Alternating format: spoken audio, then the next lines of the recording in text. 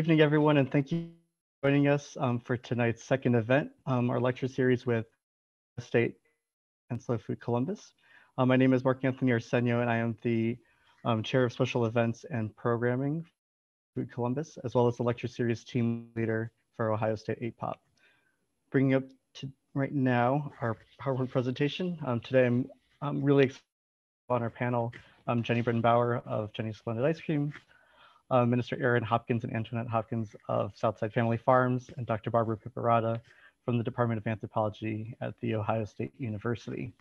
Um, as you can tell right now, this event is going to be recorded for folks to take a look at after the event and to enjoy and relive tonight's experience. Um, for those who are unfamiliar with Zoom, um, there should be the ability to read our live captioning. Um, this is going to be, using Zoom's AI technology, so I apologize in advance if some of the words just don't seem to work or aren't exactly mirroring what we're saying. I promise we'll go back in and clarify those captions as we post it up to YouTube um, later. As I mentioned at the start, this is co-hosted by Ohio State APOP, so I just wanted to take a moment to remind everyone um, what APOP is all about. As the name suggests, we're trying to um, create this outreach effort um, to introduce anthropology to folks outside of Smith Lab where our department is housed. Um, in addition, we also have a podcast series that is um, up and running. Um, so you can see on the screen QR codes for Dr. Anna Willow, who happens to be my advisor, and myself. Um, we're episodes three and four of the series that has been released since our last episode. We also have Slow Food Columbus, and I'm going to unmute um, Katie Hart, who's going to be, uh, I'm really excited about this, who's going to be talking to us about the um, first person event that we are planning with Slow Food Columbus. Um, so Katie, go ahead and take it away. Hi, good evening. Um, we are very excited to announce our first in-person social event of 2021. Um, we're excited for this for many reasons. One being that we get to actually get together and see each other face to face and break bread together. Uh, we all know the power and the beauty behind that. Of course, we will be adhering to COVID guidelines uh, to keep everyone safe. Another reason that we're very excited for this event is actually going to be one of three um, in, um, in-person events that we've created around what we're calling the producers panel. Basically, we're inviting local food advocates to get together and discuss this redefining local local has been a hot topic, a big topic for a long time. So we want to make sure that we're staying current and relevant in our client and discussing that. So, and we also get to go to Cleaver and Grandview. So it's a newer restaurant to the Columbus area. So we'll get to experience um, Cleaver. We'll get to support a local business, enjoy some local food. We have a couple of different ticket options. So one would be the in-person ticket options uh, for $25, which includes getting to the event. We'll also have a social time where um, libations and cash bar, but then of course the uh, panel discussion followed by a chef plated appetizer. Um, the $65 in-person ticket includes all of the above. Plus after the panel discussion, we will have dinner together and we can continue um, discussing with the panelists and enjoying the restaurant and each other's company. We're also offering a virtual ticket option. So if tickets sell out, or if you're not that comfortable yet coming out into a live event, uh, we will have that hosted live um, as an option. So those are free tickets of the virtual events, but we will have an option for you if you want to donate uh, to the restaurant staff. So all ticket proceeds and donations will go directly to covering food costs and to uh, the kitchen staff and the restaurant staff as well. So yeah, Thank you so much for your time. There's so much more information coming out. You guys are actually the first to hear of this event. Uh, and as a thank you for being a part of these lecture series, we wanted to let you guys know first that this was happening. Um, so more um, information to come. Um, enjoy your night. Thank you so much. And we'll see you April 27th. Excellent. Thanks so much, Katie, for sharing that information. Um, and what will end up happening is when we um, release the second video, we'll also hopefully have the link to the online ticketing site as well. Um, yes. So everyone be prepared to, to get those tickets and join us on the 27th. Yeah. Excellent. All right, so we're just, just gonna jump right in and move into our first, um, and I'm going to ask, let's see, ask Jeni to unmute because she'll be our first person. Um, you can see her bio on the screen. Um, we'll leave this up for a bit as Jeni talks, and then we'll um, stop sharing the screen so you can enjoy her brilliant personality as she's talking to us. Um, so Jeni, thank you again for joining us and um, take it away. Okay, well, hi everyone. Um, it's so great to be with all of you tonight. I cannot wait till we get to be in person. This would be one of those really fun local groups that, like, just really, I think we all thrive off of each other's energy when we're in room together. So I'm looking forward to um, to that very soon. Um, in the on the um, theme of adaptation and resilience. I was thinking about this, and you know, I think I think it's pretty fair to say that this has been the story of my life. As a matter of fact, um, because of COVID and this year, I have been quite a high demand speaker. I would say this is uh, for me um, almost weekly, if not several times a week, being called to speak about re- the topic of resilience. And that's because I think that my story has become really tied with that word. Um, it's not necessarily something that I intended, of course, in my life, uh, that everyone knows how many times I've fallen down and gotten back up. But uh, I guess I would say I'm extraordinarily proud of it, and I certainly earned it. And uh, and so that's my story. All roads for me lead back to food. And so i don't even think i don't think that i necessarily um, have to have to sort of start and end with food for me because it's all around me in my entire life. Um, obviously as an ice cream maker and a non-typical ice cream maker one that's actually working directly with makers growers producers the people who bring the food to life and the flavor to life for us. Um, i I have access to incredible, um, I would just say human beings who then grow us beautiful ingredients, which then allow us to make really beautiful ice creams for you. It's a beautiful system. And every year it's about pivoting. Every year, many, many things go wrong within that system. And there's no, we don't have as a company a vision of the future where okay now everything is going to be perfect and we know exactly what we're doing and we you know because we're working with nature and we're working with many people. We're not calling one phone number and ordering all of our you know flavorings and pastes and whatever from one corporation.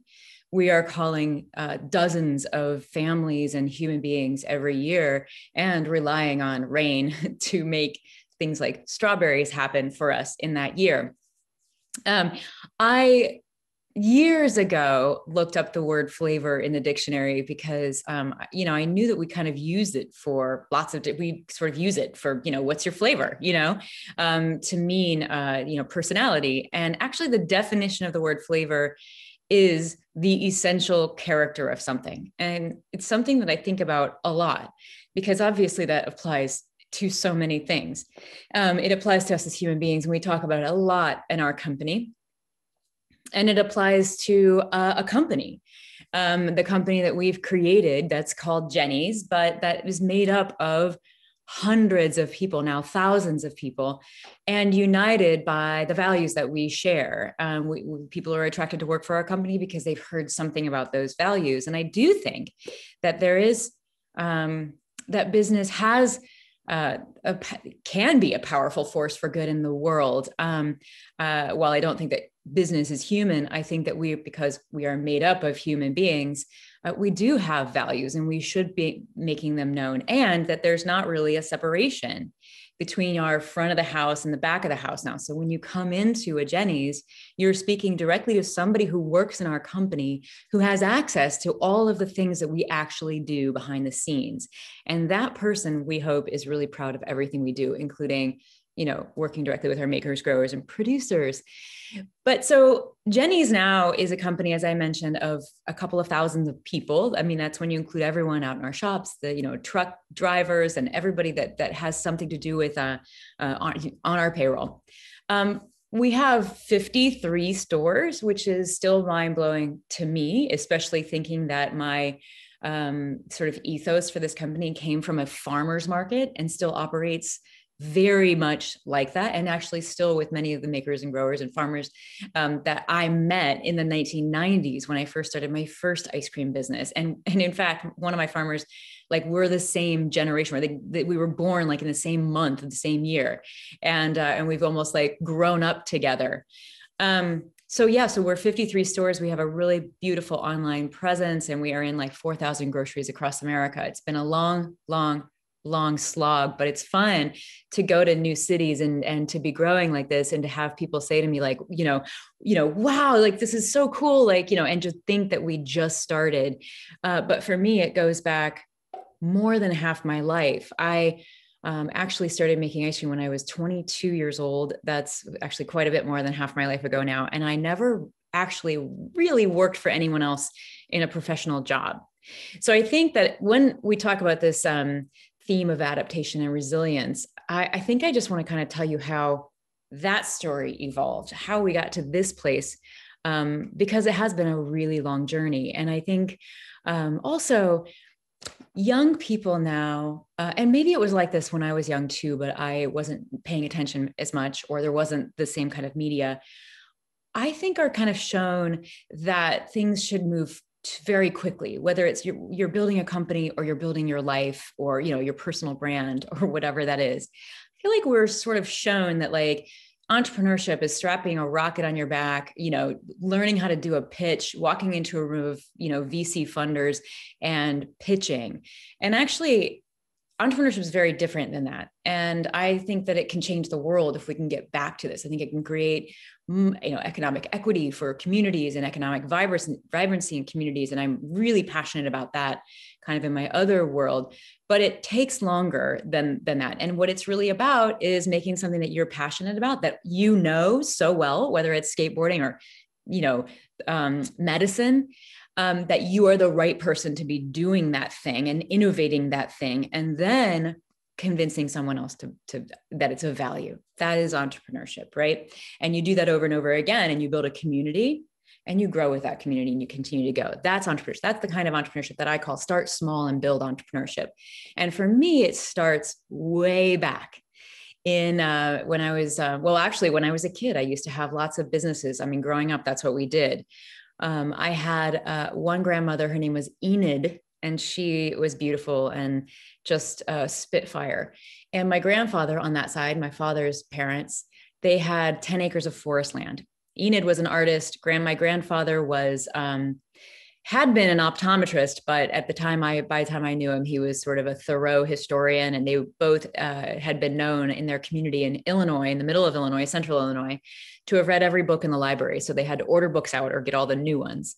Um, they were quite a sort of eccentric pair, but we had 10 acres of forest land where we would grow uh, little gardens wherever the sun would break through the trees. And so sometimes in a year, there might be 12 or 15 gardens um, growing everything from just my grandmother's favorite flower, which were gladiolas. It was a whole just patch of gladiolas to root vegetables. We had wild uh, mushrooms we picked. We had wild berries. We had cultivated berries. We had uh, orchard fruits. We had literally anything you can grow in soil uh, growing there. We had honeybees that we had our own honey from, and we tapped the maple trees every winter to get uh, a whole year's worth of maple syrup for my entire family my grandmother being an artist um, equated um, uh, sensory experiences um, with art and making things. And so that was sort of the beginning for me um, of that life. Um, but I would go to my other grandmother's house and Enid would teach us how to do something. We would literally pick cattails from the forest, you know, by the creek uh, those long sort of grasses and we would dry them in the sunshine and then we would dye them and make baskets out of them. That was just one example of many things that we did with Enid. When I took that to Betty's, Betty would say, let's make a whole bunch of these and sell them, right? I know somebody who wants this, right? So it was this really great dynamic um, sort of tension almost between uh, these two extremely different people and how they view the world that created me in many ways. Um, fast forward my life, my family like blows up in a massive way just to smithereens i have no safety net no family my father's been out of my life for several years that family was out of my life at that point. My mother had a baby and she's very sick. She was out of my life. My sister had gone off somewhere else and I was very much alone. And I decided that I was going to get into Ohio State University. And this is a person who barely got through high school. In fact, I, I, thought I was pretty smart engineering my high school to be straight D's so that I could work because I liked working um, at a French bakery that I worked at. Um, they, of course, did not let me in because they don't let D stu- straight D students at Ohio State, you know, the Ohio State University. Uh, but I convinced them after I wrote a letter of appeal. I, uh, I wrote a letter of appeal on notebook paper, and I sent them in, uh, and I told them what I'd been up to, which was basically working and um, and and just doing things, and uh, that my teachers all liked me, and um, and they uh, let me in what was going on in my family. So they allowed me to come into Ohio State University, which was the greatest thing ever. Um, so I started Ohio State, but um, because you know maybe because i've been raised by sort of alternative thinkers and different kinds of people i didn't want to get on a track to a degree. I wanted to take all of the things that sounded fun because one of the greatest things about one of the most massive universities on the planet is that you can take classes on vampire folklore or like you know multiple different um, very specific elements of the french revolution um, a, a class just on ancient or even pre-Hellenistic society, like economies, right? Which was a class that I barely survived, but it was extremely interesting. So I just went around and took all these classes that I wanted to take. I took a lot of fine arts. I took a lot of art history, and um, and I met a lot of people. I went to other departments. I met a wonderful um, French guy named Julian, um, who was who grew up in Paris, and he and I became buds. And he was working on some. Uh, he was in the chemistry department. He was working on scent, and I started playing around with scent. It was the most incredible thing ever. I'd never really heard of that. It was sort of linked to perfuming, and he would bring me little vials of scent, and um, I was also working at the French bakery. I worked at a French bakery since you know high school. I had worked there, and uh, and actually my first job had been in uh, at an ice cream shop uh, at Graeter's. I was their very first employee in Columbus, actually, um, and still friends with them today.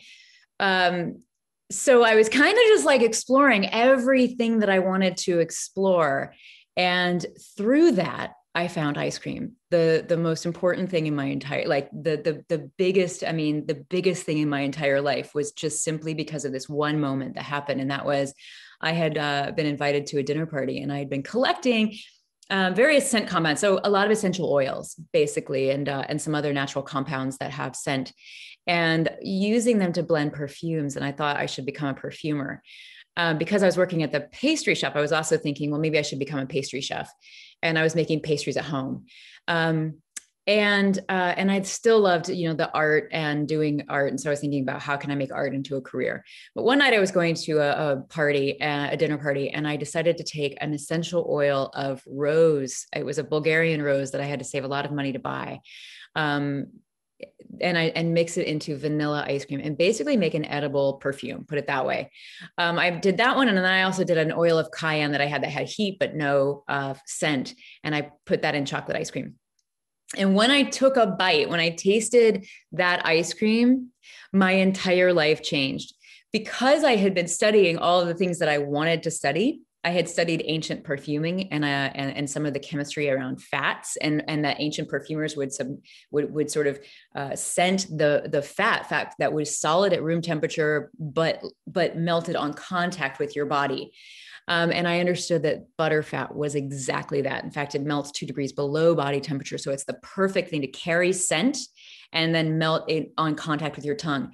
Because I had studied all of these things that I that I was, you know, excited about, um, I knew the power of ice cream uh, to carry scent, also to tell stories uh, because I'd been studying history and I'd been studying folklore and I'd been studying anthropology and art and art history. And I loved that storytelling um, aspect of all of those things.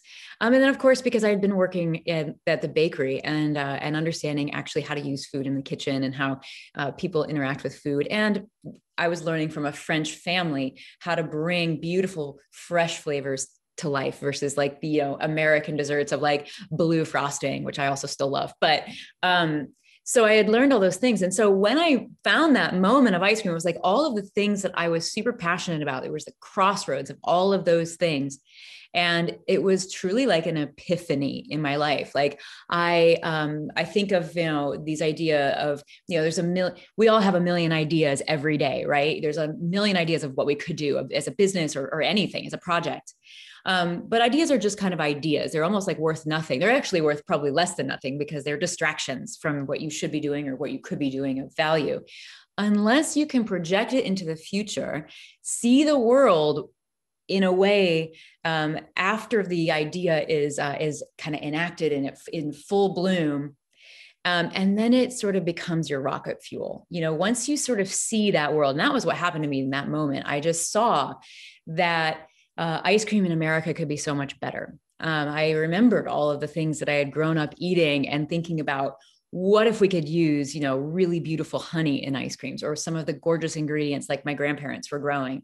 Um, or like i go to the market and buy. What if i could do all of that in ice cream? Um, well you know what? If ben and jerry's can do it i can do it too. Literally that was my business plan. Um, and so that moment was the most important moment uh, in my life and i can only i sometimes think back like what if it hadn't happened? Or what if what if i hadn't observed it in the way that i did or grabbed onto it in the way that i did? Um, my whole life would be so different obviously. Um, a few weeks later i was uh, i walked into one of my figure drawing classes or my figure drawing class and uh, a model walked in um, that I was actually always having trouble drawing. She was very beautiful, very tall, very slender, and I couldn't do the angles, you know, of like her hip bones or whatever. I love to draw big, and um, and so you know, with like the radius of my arm, I draw on big paper, and so I love you know round people, and um, and I was just thinking that I was going to be you know, in this class for three hours when really all I wanted to do is go home and make ice cream.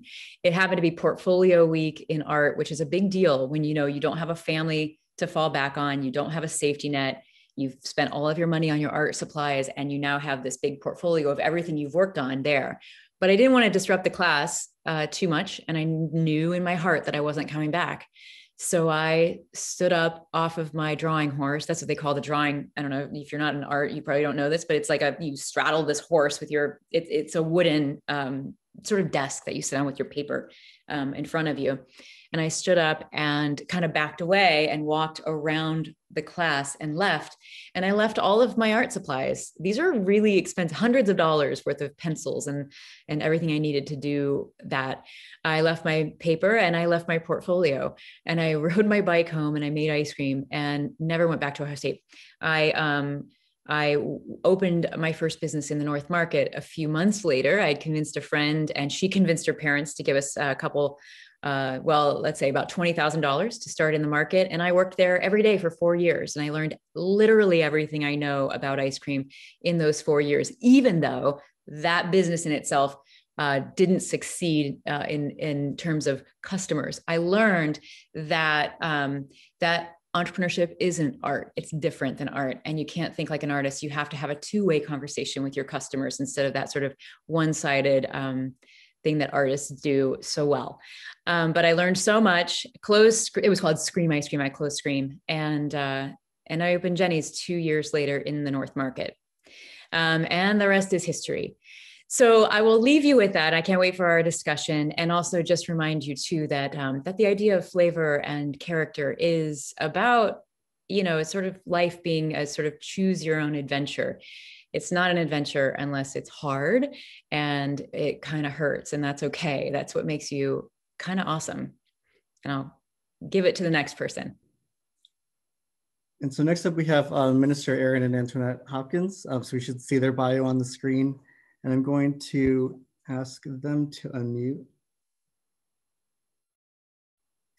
And hopefully that'll work out. And then um, once you've done that you can go ahead and get started um, just so you know, I have a photo of one of your farms, and so I'll let you start talking, and then we'll move on to that screen, and then I will uh, minimize the screen as well, so folks can watch you. So you can go ahead and take it away. Okay. All right. Well, good evening, to everyone. Um, so glad to be here and uh, to have this opportunity um, just to share kind of our story, uh, to even speak about uh, adapt adaptation and resilience and man, what a journey. And so uh, we want to thank Miss Jeni. That, that was energizing, uh, just even in hearing her story and how complex it is. And it just, uh, while we were sitting here, it, it allowed us to reflect uh, on our journey. Um, and so I, I would want to say that me and me and Miss Antoinette have been, uh, we've been together for 42 years, might be 43 years, but we've been married for 38 of those years. Um, the 39 this year. And uh, so we have uh, six grown children and like 24 grandchildren. Mm-hmm. And they are very much part of the story. And so um, I was feeling something as Miss Jeni uh, was just sharing her story and um, just how things in life happen. And, uh, you know, and so um, I, I, I really, I, I really thank her for just kind of preluding us into this and um, we're very much uh, a people of faith. Um, haven't always been in this lane that we're in now and walking by faith. Uh, I remember when we made the decision in this community in which we live here on the South Side. Uh, uh, we've lived in, in this this house here for uh, 30, about 30, close to 30 years, but uh, probably about maybe 25 years ago, we made the decision that, hey, something's got to break and uh, we went to a place of worship right in our community. Had to walk our children, six children, down the um, down the road, and uh, you know, life for us had changed dramatically over those um, 24 years, 25 years. Uh, I'm sure it's more than that. I, you know, I just never really stopped to reflect on it, but uh, I know out of it, uh, I ended up getting a job where I um, just kind of something like retirement, just left it uh, here after 28 years. Uh, you know, I got that job from a relationship that I had met at the church. And so uh, it was at that church, Family Missionary Baptist Church. Um, uh, my pastor is Frederick V. Lamar. Um, uh, also lives in the community. Uh, um, me and him have a very close relationship in that we are very much the same age uh, just a day apart. Um, both live here in the community. Um, he comes from a very large family, and uh, I'm from a small family, but now have a large family. But it was at Family Missionary Baptist Church that uh, I would think that road to adaptation um, really started for me. You know, I was thinking that I was going to talk about COVID, but um, adapting to life uh, and finding resilience happened for me um, some time ago. And so um, this thing about starting the community gardens, it, it happened out of some things going on in our community. Uh, oh, um, I, I would say because of the economics in the community and the lack of, uh, oh, in summer jobs, things to keep young people active and to keep them engaged uh, in profitable ways in a community that is an underserved community um, with uh, mid to low level incomes. Um, it's changed over the years. And so um, we had a lot of crime going on, a lot of gunfire, much like it is now uh, happening in our city. But we started a, a project to engage these young people that we were going to give them some skills to teach them uh, teach them some hand you know to use hand tools uh, drills and saws and tape measures and uh, show them how to build uh, some garden fences because uh, we wanted to connect these young people to these grand grandmothers and grandfathers that was in the community a lot of grandmothers but uh let me see. I'm still with you. Uh, and uh, and and we started a project. We built a community garden at the church and really uh, develop a passion to want to educate these young young people on this urban farm. It wasn't urban farming then. We were building garden fences and putting some vegetables out there on the back lot, and uh, we wasn't ex- addressing um, fresh food access at the time we were trying to give these young people some options, uh, some things to help them deal with the trauma of this inner city life and some skills that would help them uh, move past uh, uh, give them some better conflict resolution and also to teach them a respect for their elders uh, to get to know these older uh, these aging community um, to really take time to listen to what their story is and listen to what these seniors had to say. And so we started our, our first garden in the community, uh, and it was called Growing Community and Family Concerns. And uh, it's on a city land bank property. This is a the picture you're looking at there. That's our second, and so um, that's probably about maybe four years down the road. About four years down the road, that happened. But uh, the other garden, um, that growing community and family concerns. Uh, we started out a city land bank property, did not really have any funding. We just had a whole lot of passion that, hey, we want to build a place where these uh, young people can, well, no, more so that the seniors can start coming out of their house into a safe place, into the community, uh, that they could begin to interact with other seniors, um, you see that orange sign that's in that picture. Uh, that's a sign for our civic association. Southside CAN is what they call it, but it's Southside Community Action Network. And so I am the current president of that civic uh, here on the South Side. Um, um, and it's one of the older civics in the community. Um, at one time, we had a lot of uh, blue collar jobs, factory jobs that was in the area. Those closed and uh, you know things kind of went downhill in our community. But so this thing about growing your own food these grandmas knew how to do it but we needed them to be able to teach these young people how to do it.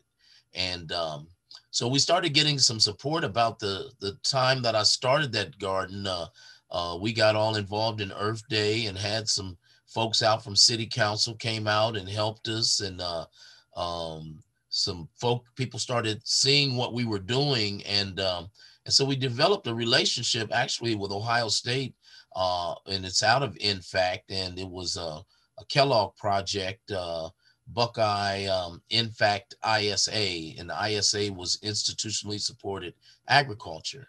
And um, they had a, a goal of um, um, teaching these young people that you know if they had a family of eight years uh, uh, eight years old, um, that they would uh, support them with uh, um, educational and resources to be able to grow at home. And uh, we said, wait, they can come to our site. Um, you know, we can grow as a community and we'll provide our site and uh, um, do these sites and grow in these community. And so uh, the resilience in there was, you know, it, it was challenging at first because there were no resources. And you know we did not have resources. And so um, there was a, another relationship uh, from uh, uh, mid ohio food food bank. It's a collaborative now but uh, they had a usda grant that uh, funded our other site with electricity and water uh, helped us to build raised beds.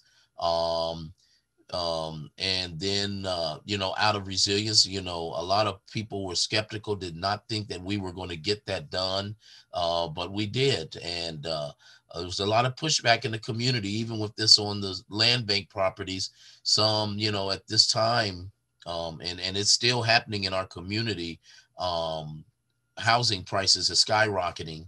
These vacant lots have become you know something that people want. And uh, um, you know, you could easily get forced off of those properties if you if you don't. Uh, um, and so there's that adaptation again, and uh, finding the resilience uh, to build something that is sustainable. Uh, people say, if we fund you this year, where are you going to? How are you going to make this? How will you make this? Uh, what will you do next year? Will you be back for funds again next year? And so uh, it's been four to five years looking for sustainability. Uh, it it moved into fresh food access very fast when we realized that no, these people don't have. You know, we are a borderline food desert, uh, and then um, you know people are limited with transportation in my community, and their access uh, to get there is is very challenged. The bus routes are there, but it's not. You know, you have to walk so far to get to the bus routes, and then to bring your groceries and stuff home. But a lot of barriers there. But so when we started moving down this road of looking at this fresh food access, you know, um, um, we found other barriers and challenges, and not just COVID. We haven't even got to COVID yet, uh, but we had to find resilience to be able to sustain this urban farming and to be able to get these people involved, you know, get the community involved, the youth, and then to keep them involved. You know, we were finding that a lot of uh, people in our community were not uh, being could not identify a lot of the different fruits and vegetables. There was some stuff we learned, you know, uh, that, uh, you know, my mom was a home ec teacher, but I had never had kohlrabi. Uh, I never had kohlrabi, and uh, what's of the other things we, uh, um, oh, a lot of different things that we just, you know, aren't used to seeing. And so a lot of our community had never, what's a cucumber? You know, they know a pickle, but they don't know a cucumber. You don't know. Um, and so um, that trying to find resilience to make it appealing to people. And so the best way is to um, uh, make it where um, they want to eat it. And so, um, what would you what would you say? What would you say has been one of the fun ways to keep the youth to help us find that resilience? Um, I think um, just teaching them and harvesting, or even like um, when they plant the seed to see the see the fruit that comes mm-hmm. from the um, mm-hmm. seed that they planted. Um, when they water it and nurture it, and you know, mm-hmm. then they're able to eat it. I know one time I can remember us being in the garden and we had um, sweet 100 um, cherry tomatoes and the kids would be like can we eat them now you know and i was like sure you can pick it off we'll wash it and eat it and, and it was just the fact of them having access uh, ready availability to be able to do that you know just pick it off wash it and eat it it was just something that was able to get them to know what a tomato was or to know what a cherry tomato was and how it mm. tastes um, I think in really just teaching them and showing them the difference from the fruits and vegetables that's grown in the garden rather than brought in the store. What's the different taste? Mm-hmm. Because it is a different taste. So mm-hmm. um, I would say that, and then like different activities that we have for them in the garden. Mm-hmm. mm-hmm. Yeah, and and and so even she just hit a point there uh, because a lot of people in this community don't know where their food comes from. They think it comes from the grocery store. They never realize that it's grown on a farm, and sometimes those farms might be uh, hundreds of miles away. And uh, but they, the one thing we started seeing is that they never considered themselves as farmers and seeing themselves having that ability to grow. And so when Miss Jeni was talking and she was sharing all those experiences about growing up in an urban area, in a in a country environment, all of those uh, sensory things and uh, all those things that you could expose to, all the things you could grow, you can eat, you can taste, um, wonderful country meals, and being able to pluck it off the vine, all those experiences. You know, we found that you know we have the struggles that there's people in the community have not been out of mm-hmm. you know 270 mm-hmm. you know they have not seen that life. And so um, then COVID, and you know, right in the midst of us doing all of that and building their interest and wanting to take them on field trips to see other urban farms, you know, um, uh, COVID kind of hit and kind of you know put a damper on things, and so um, Zoom was actually a blessing. Is that we could reach into their homes and we could give them things virtually, um, begin to show them uh, places that they never imagined. And so we're doing pretty good at holding holding their attention. But we're really excited about our CSA program this year, um, being able to deliver these boxes of vegetables uh, into their community. One thing is challenged though, you know, even as we're preparing for this season within this community is, you know, there's been a lot of uh, food boxes being given away. And so and so that's something that we've been having to prepare for there's a lot of families that are in the community that have been affected by negatively by covid and their work and so um, where we were looking to have a moderately priced CSA box that we could deliver, you know, um, uh, we re- we find ourselves really relying on our faith right now is how God going to work that thing out, and that we can get it to them, and that uh, another door might be opened. Uh, there is a program that we're participating in called Farm Share, um, that some resources have been put together that we can begin to distribute uh, these boxes uh, at no cost to us, and we're also compensated for um, delivering them and also maybe compensated. They're buying some of those vegetables from us and then we distribute them free. Mm-hmm. And so uh, that has been uh, part of the resilience that uh, we've been finding. And so we're still looking for avenues to succeed. We've got two acres that uh, we're getting ready to uh, bring all those fresh vegetables into this community. And we're just looking for, um, you know, uh, the COVID guidelines to uh, hopefully around August, um, we can begin to plan events where we're going to have cooking in the garden and we can have select families come through. We're going to actually cook meals in the garden, uh, really teach a lot about the dietary uh, benefits and those things. And uh, um, and so it, has been good. Uh, um, our house of worship uh, did not close. And so I, I found my resilience in my work. I'm a passionate person about the work that I'm doing. Um, COVID happened right at the beginning of so much social unrest in our community. And, uh, um, you know, and it really strained. It opened my eyes to things, uh, um, even the story about the black farmer and being forced off the land. And then now, how do I, te- you know, deal with the stigmas of these young people while I, I want to expose them to agriculture and ecology. I, I grew up a landscaper and wanted to be a horticulturalist, but you know, how do we begin to inspire them to want to be the be in that lane? And uh, and so uh, uh, we have found our resilience. We're holding on to our hope. We're excited about the season. And hey, it was above 60 degrees today, and the COVID numbers is, you know, they're going the other way. And so we're mm-hmm. just glad about the vaccines, and we're just uh, really honored to be here and to be involved in this discussion. Excellent. Thanks so much, uh, Minister Aaron and Antoinette, for sharing your your story. And um, you know, hopefully, we're going to have time uh, during the Q and A to dig deeper into that. Our final uh, presenter, last but not least, is Dr. Barbara Piperata. I'm going to um, return back to sharing my screen here.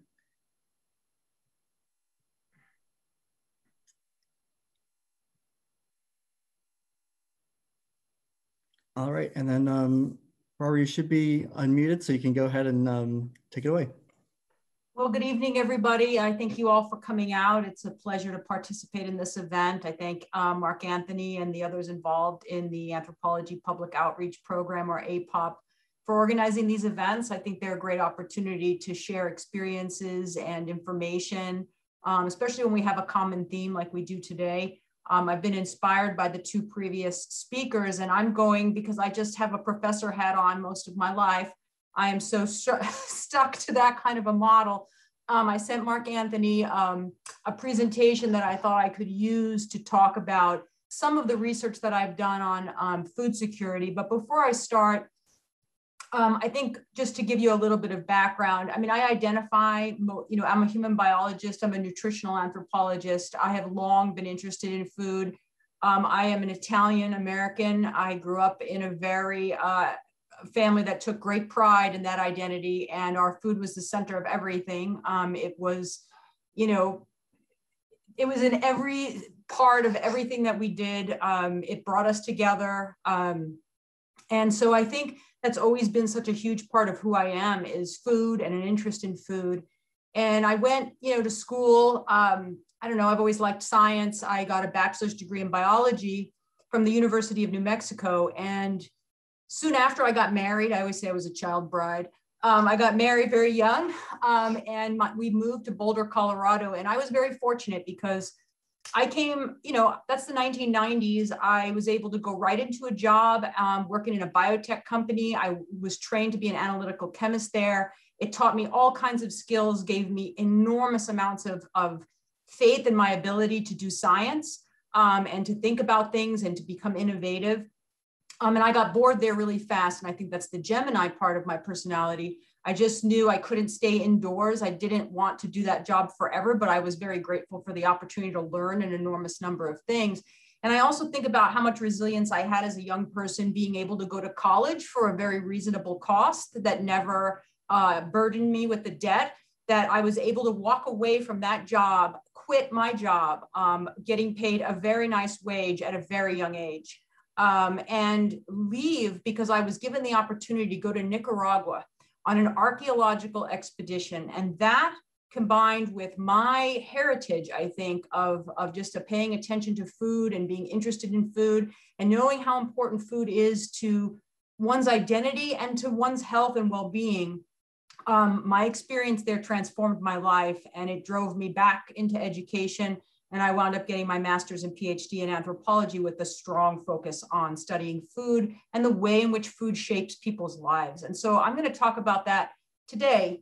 Um, but that's how I got to Nicaragua um, originally. And OSU gave me a chance to go back there as a professor. And so um, I'm going to talk about that experience here and some issues of resiliency, but also I think a lot for us to think about that really overlaps with the two previous speakers. Um, certainly the efforts going on on the South side of what happens when we are, when we create environments where people are insecure.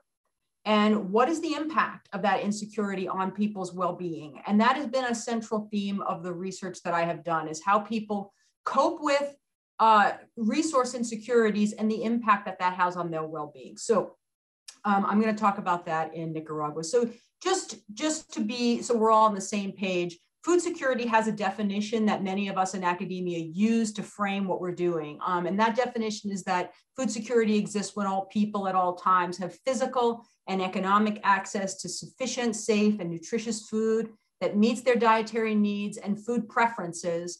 Um, and that's an important part for an anthropologist. We don't eat everything that's available in our environment, okay? We choose our foods, and those are based on who we are and our culture and our identity, and that's very important and it's and it's getting access to these things that allow us to have an active and healthy life and to participate in society and to build family and to build community um, and to participate in an event like this. Um, a lot of times when people think about food security i think they immediately think about its availability. And i want to dissuade you from thinking about that. This planet has plenty of food on it. Um, the problem is access. And this has to be our focus is that people simply do not have access. And that is because we have, as a global society, decided that we are going to be very, very, very skewed and unequal in the distribution of wealth and in the distribution of power. And that power is in the hands of few, and they control the way food is produced, they control the way food is distributed, and ultimately where food gets to and who gets it. And um, the story I'm going to tell today through the experiences of Nicaraguan women will highlight uh, the outcome of, of that disparity. Um, so we can move to the next slide. Um, about 2 billion people. I want you to remind yourself that there's about 7 billion on this planet right now. 2 billion of them live under conditions that we would consider to be food insecure. And 98% of those people living in those conditions are in low and middle income countries, all that part of the map here that's colored in with various shades um, of color. But we shouldn't forget, of course, that in a country as wealthy as the United States, we have plenty of food insecurity. And um, if I were to dissect that map, which I just don't have time for today, we would see uh, all kinds of pockets of food insecurity. It's everywhere. In fact, in Columbus, Ohio, about 17% of the population is food insecure. Um, and the women and children of the world are at greatest risk. Now, when we think about food insecurity, we, um, especially as a human biologist, I've been very interested in the way in which it affects health. And we know that, you know, if you're not food insecure, you don't get in at, you don't get adequate intakes of, of nutrients. Um, it puts you at risk of getting a bunch of chronic diseases because of the food choices that you're often forced to make, which are energy dense and nutrient poor foods that lead to things like diabetes and cardiovascular disease. We know it has devastating effects on pregnancy um, and pregnancy outcomes. We know that children who do not have access to a, a good diet um, suffer cognitively they cannot do well in school and take advantage of any educational opportunities we give them. Um, and then we also know that it has mental health implications, but this has been the least studied aspect of food security. And this is what um, drove my question in Nicaragua, which is what I'm going to talk about today. So I was interested in knowing the association between food insecurity and mental health in this context. And like I said, since women and children are at most uh, risk, I was very focused on understanding mothers' experiences.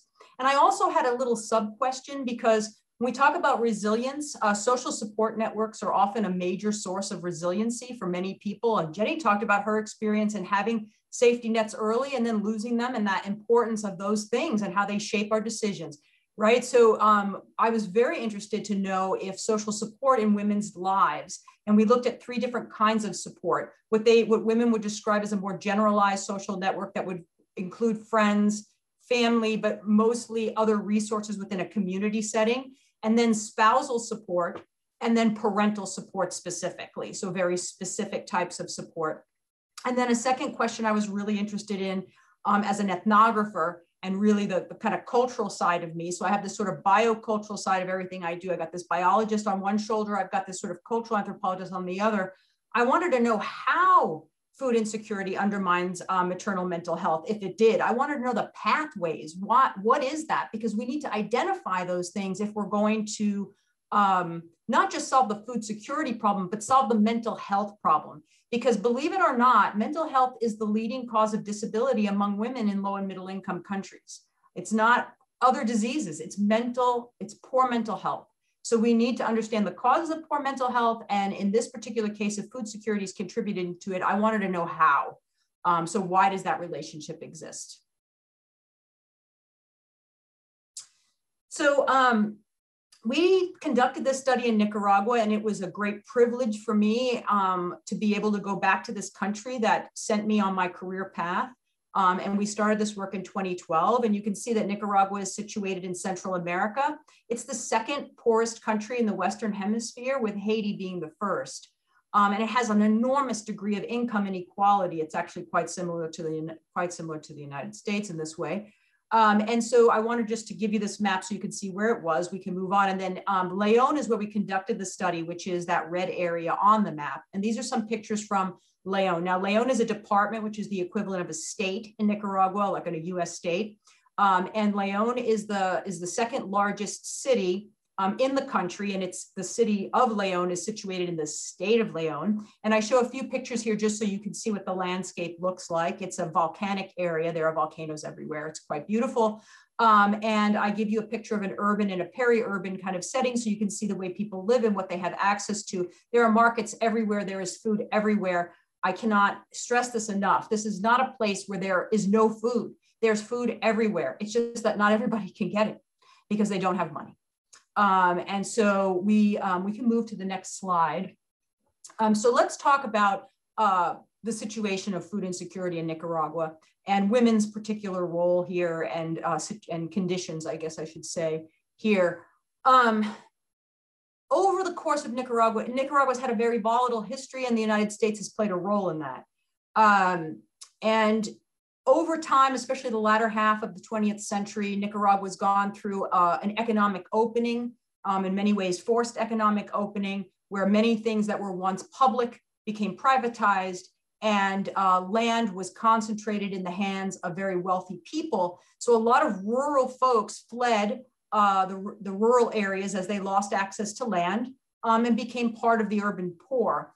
Um, and so Nicaragua still has the remnants of that, um, where most of the population has moved into urban centers and they live um, uh, on the kinds of jobs that one can get in those sorts of places. Now, the big uh, uh, sources of income in Leon are the free trade zone, which is where the maquiladoras or the factories are, these free trade zones are uh, transnational corporations own them. They mostly employ women. They pay very low wages. They have very difficult working conditions.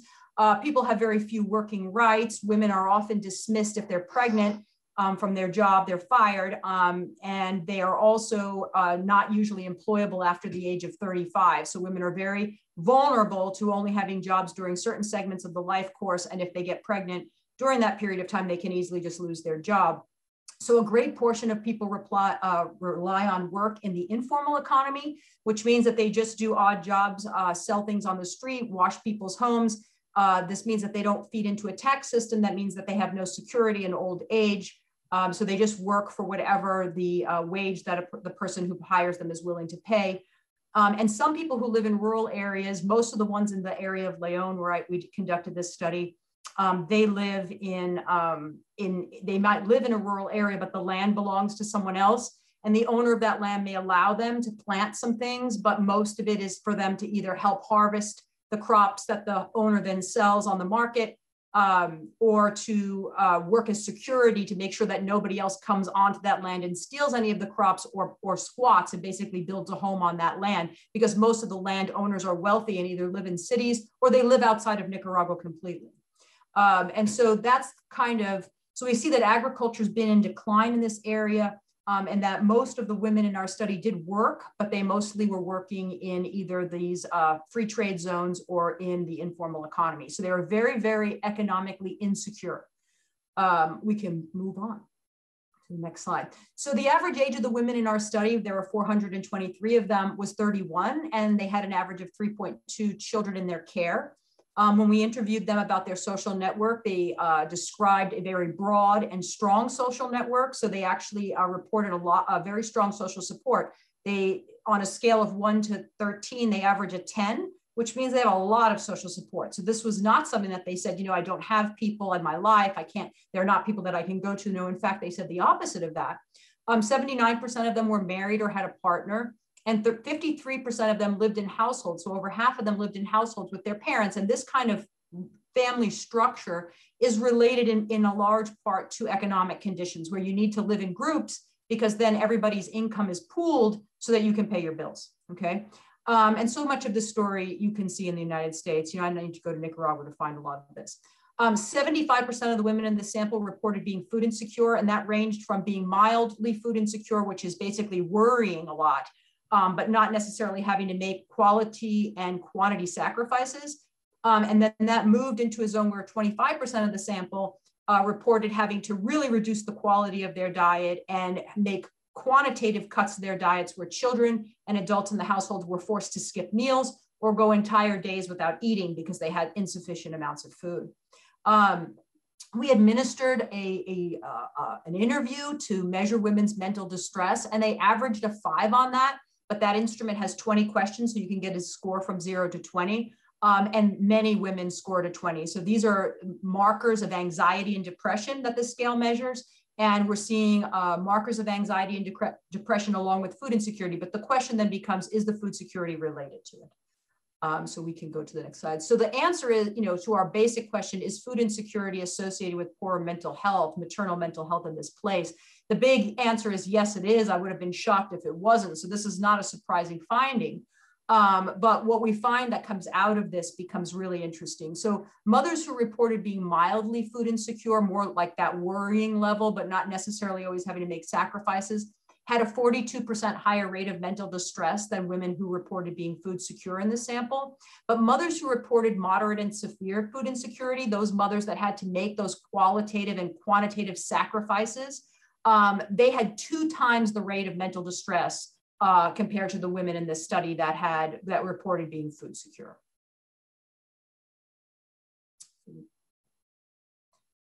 So then that second little sub question was, well, let's talk about resilience. Let's talk about safety nets. Let's talk about, you know, do they make a difference in this place for this problem? So we've got food security as the insult to health here. And then we've got mental health as the health outcome that we're looking at. So the question is, does social support buffer that? Does it make you more resilient? Does it keep you from suffering the mental health consequences if you had it? And there are a lot of ways to measure social support. We looked at uh, three key ways here. Instrumental is like I can give you money or food, um, like real things, real tangible things. Information is that I can share with you ideas about how to stretch food or where to get cheaper food and things like that. That kind of info would be informational support. And then emotional support is pretty obvious to all of us. I'm there for you. You could talk to me about your problems. Um, I, I, I, can empathize with you. So we looked at um, the, we were looking at these sort of uh, forms of social support, but also who provided them. Um, so we wanted to know um, you know, they were women reported getting these types of social support. We wanted to know if they were buffers in terms of the way in which food security impacted mental health. So I tried to collapse this down to go a little bit faster. But the quick answer is their support networks, even though they reported tapping into them and being able to utilize them to get access to food when needed, like being able to go to a, a corner store and ask for rice and beans to pay later, or to go to a neighbor and ask to borrow food. They reported being able to do that, but it didn't buffer their mental health. Okay. And I'm going to talk about that in a moment. Uh, when we explored the role of spousal support, it also served as no buffer. And I'll come back and talk about this. So having the spouse around was not necessarily a buffer in terms of mental health, but having their parents, particularly living with them and resolving this problem together, did um, serve as a very strong buffer um, in protecting their mental health from the insult of uh, food insecurity. So now the interesting question becomes, well, what can we learn from ethnography, from doing a mixed method study um, to look at why they're having, why food insecurity, or how I should say food insecurity is undermining their mental health, and why the network and the spousal support didn't seem to buffer them, but the parental support did. Because this teaches us about ways in which we could go in and try to help solve this problem in ways that are going to help not just the food security, but the mental health and so the first theme that came out of these, uh, we had two hour long, deep conversations with women about their experiences with food insecurity. Um, three of them were the focus groups with uh, five to 10 women in them that were in rural areas. And then um, uh, three of them were in urban areas. And these are the themes that uh, came out of those focus group discussions. So the first is that food security in this place was a chronic stressor. And I think we see this in the United States as well. It doesn't go away, it's a daily stressor. Um, and so this eats away at you. We call this now in the psychology literature a toxic stressor. So these are some of the quotes that I'm sharing with you that the women uh, talked to us, uh, expressed while we were in there. It's a concern. It's an everyday worry. It makes me sad. It makes me want to cry. When we have no work, we have no money to buy food. This makes us worried. Where am I going to get food for my child? This was every day. If they solved it with breakfast, they had to go back and, and do it for lunch. So they called this la lucha, the fight or the struggle um, for food. Okay. And it was chronic. We can go to the next slide. The second theme that emerged um, was the stigma associated with it, which we also see in the United States. And this is why the network support was not a buffer because while women, women could could tap into it to get the help and put food on the table, it made them feel terrible because food security is considered to be something that is highly stigmatized, that you're a failure as an individual if you can't feed your children. So we see this adoption of this like neoliberal model where you as an individual are responsible for a structural problem. Um, so this is a social problem that you're embodying and that you're considered to have to take responsibility for. And when you fail at it, then it is, is considered shameful. And so women were very worried to have to share this reality with people in their social network. They said, Of course, I'll do it. I'm not going to let my children starve. But it is definitely devastating to my mental well being because I feel like a loser. I feel like a lost cause. And the last theme um, is due to identity role. And I think this really speaks to women.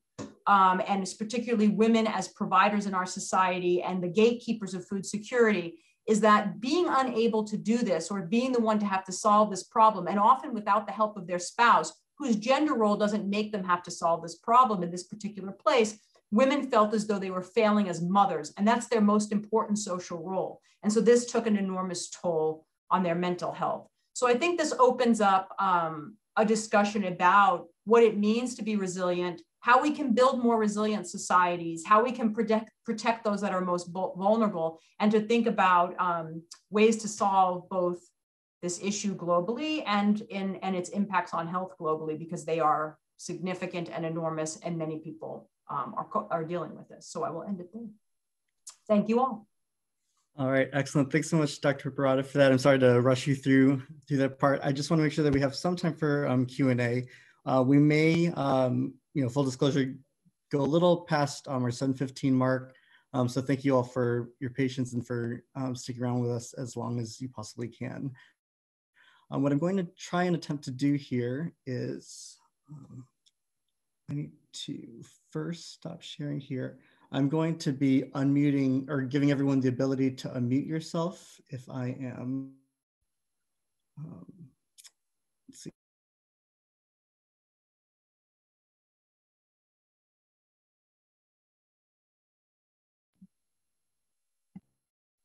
You're muted.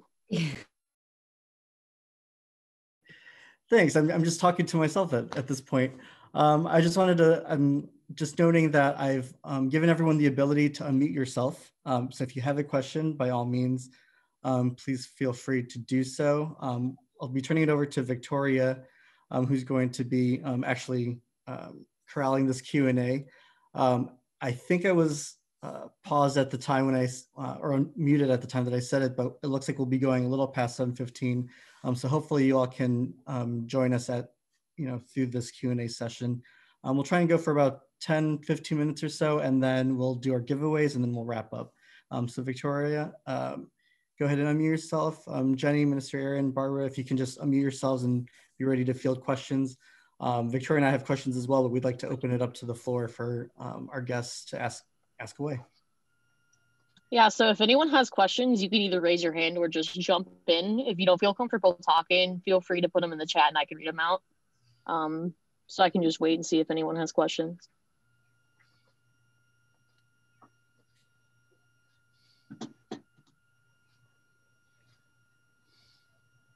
Okay, if not, I wrote some and then, oh wait, there is one. Um, so Lynn asked, where can I learn more about the CSA program being offered by the Hopkins? Um, we have a uh, website that uh, um, is still building out the CSA portion, but uh, you can find it on southsidefamilyfarms.com.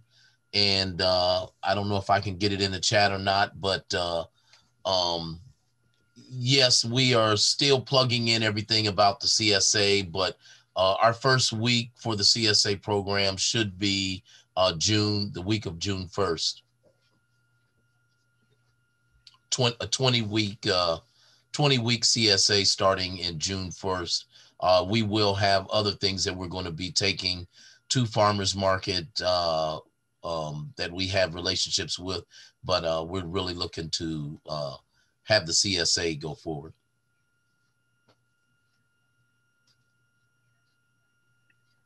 Mm-hmm. Okay, well, one general question that I had, and Mark, you can jump in whenever if you have questions too, was how COVID has affected each of your programs or businesses um, individually. If you have anything you wanted to add about that.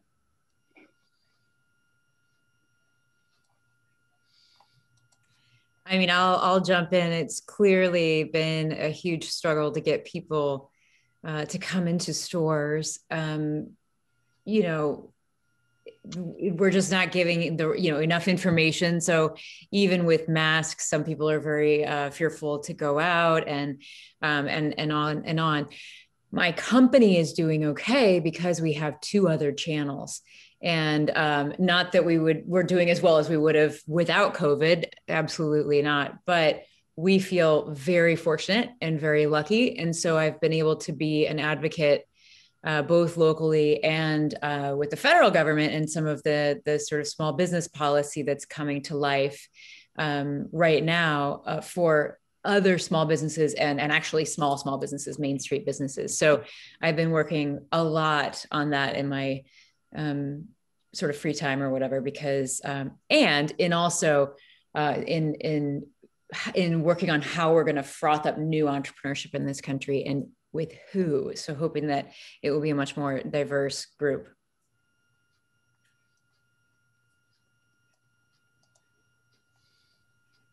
I can certainly speak to the impact that COVID's had on education um, and training students. So um, I talked about the Nicaraguan work. The work I actually talked about today was conducted prior to COVID, but we had an ongoing project in Nicaragua that was looking at both food and water insecurity.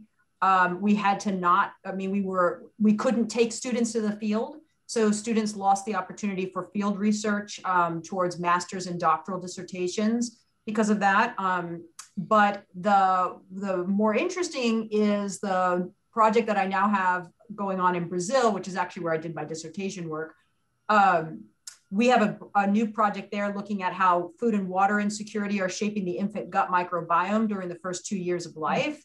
And um, that project is going on in the middle of a pandemic, and the country doing second worst in the world is Brazil. So they're right behind us. Um, and that has been, eh, you know, an exercise in resilience and creativity and uh, all of those things because you cannot. I mean, so we we basically had to create all the training videos for the entire team.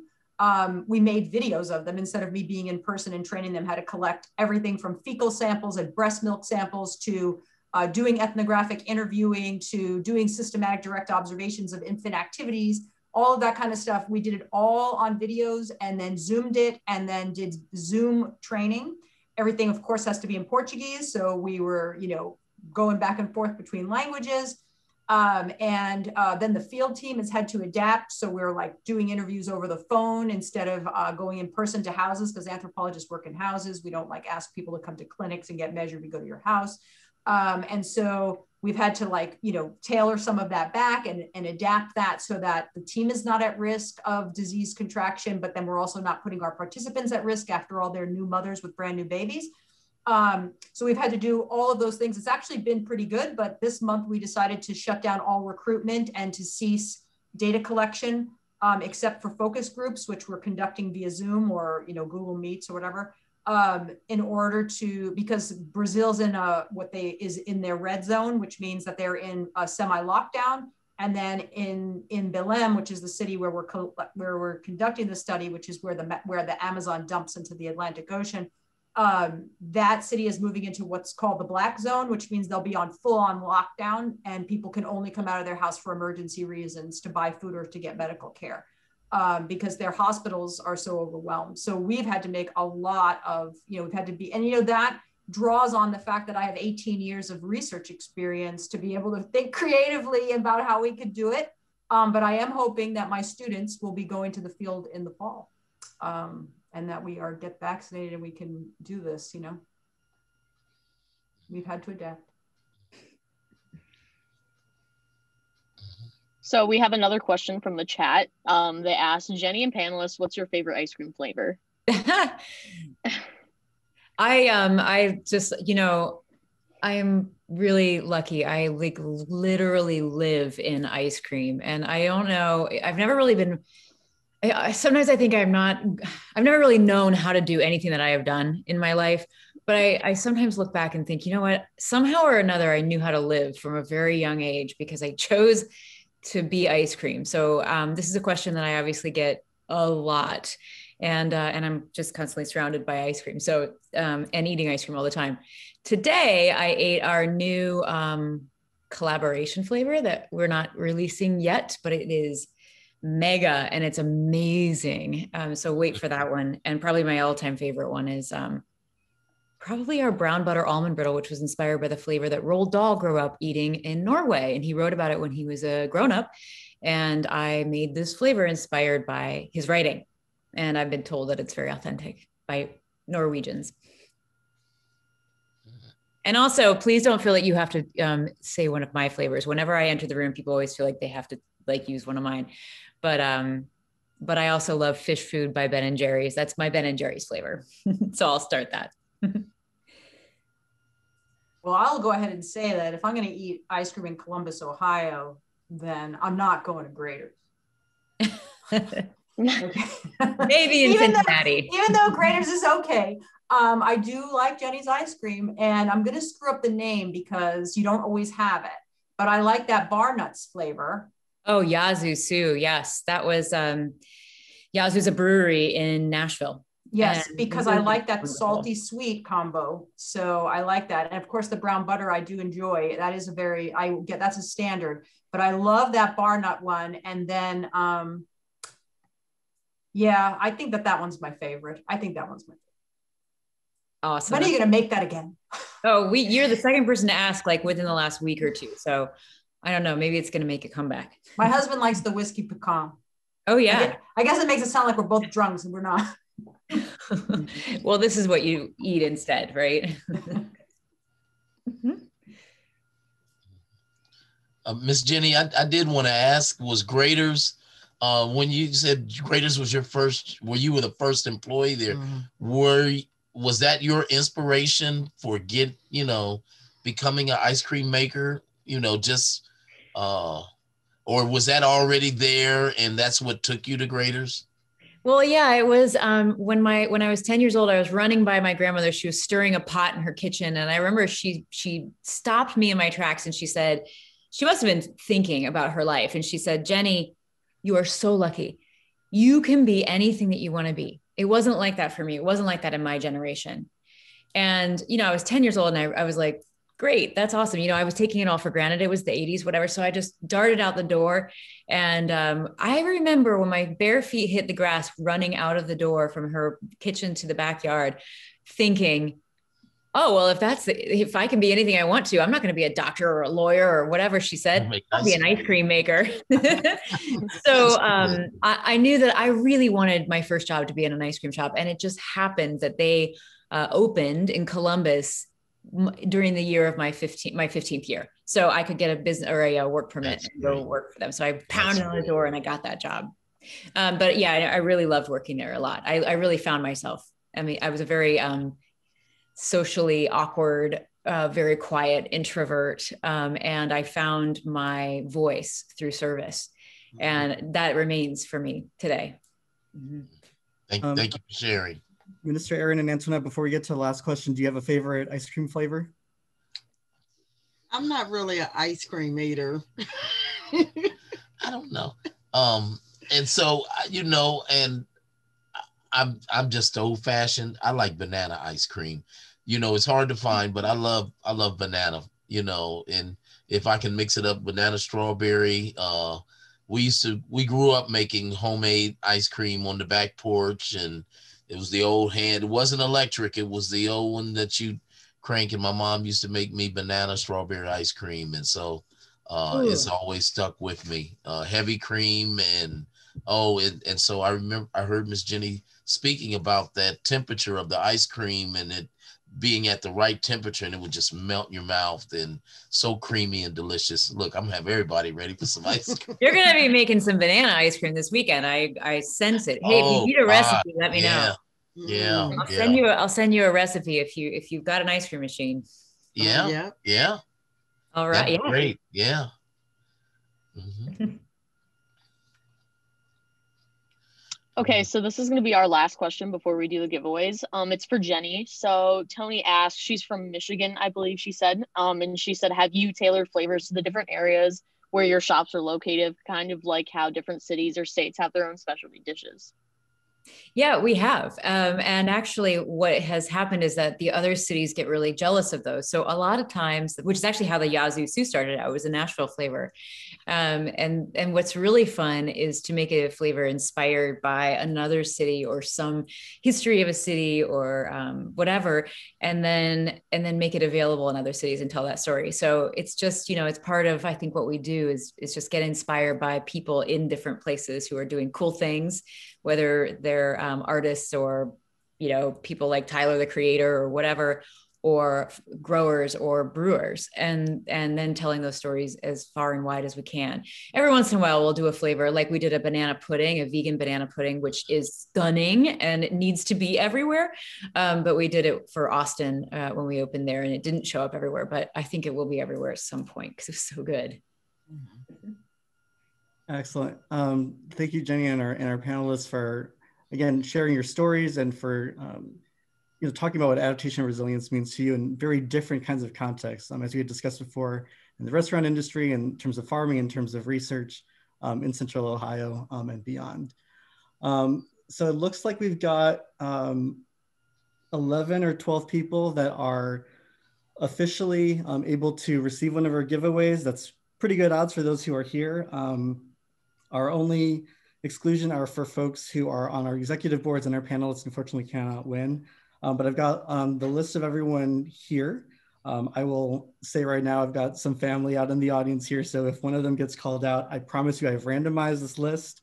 Um, and so what I'm gonna have us do, um, we've got Jeni's, this is the, um, the first book that Jeni had written and won a James Beard Award. We've also got a $15 Jeni's gift card um, a Southside Family Farms produce basket. And the hope will be that the winner will be someone local who can actually receive this gift basket. Um, and then a copy of Food Culture, Anthropology, Linguistics, and Food Studies. I'm super biased. It's an awesome book, um, but it's got an, a chapter written by Dr. Piperata. Um, and so we'll start, um, Jeni, if you wouldn't mind um, choosing a number between 1 and 12, and we'll see if that person has stuck around till the end here. I will choose seven. Lucky seven. All right. Is Nancy still here? Nancy. Um, I, looks like Nancy is the one person who had left. All right. Um, so let's try a different number. Nine. Nine is Shane Skaggs. I think I saw him still on the list here. Shane, can you quickly? Uh... Hello, I'm here. Oh, yay. Excellent. Winner. All right, thanks, thanks for sharing, everyone, by the way. It was great listening. Okay, now you have to make ice cream. All right. So this book is made I made it so I created it so you can create your own flavors, not just my flavors. So you can mix and match and and it's really fun. So all right. Excellent. Hey. Um, I'll ask um, Antoinette to choose um, one through 12, not seven or nine um, for the $15 Jeni's gift card. 10. 10. All right, that's uh, Karen Herrera out in Texas, my mother-in-law. So congratulations, Karen. I think you're here. Uh, let me just double check and confirm. All right, there she is. All right, um, so congratulations there, and we'll get that out to you. Um, Ms. Herron, if you can choose a remaining number for the produce basket. Uh, did you say you? Oh, did you say me?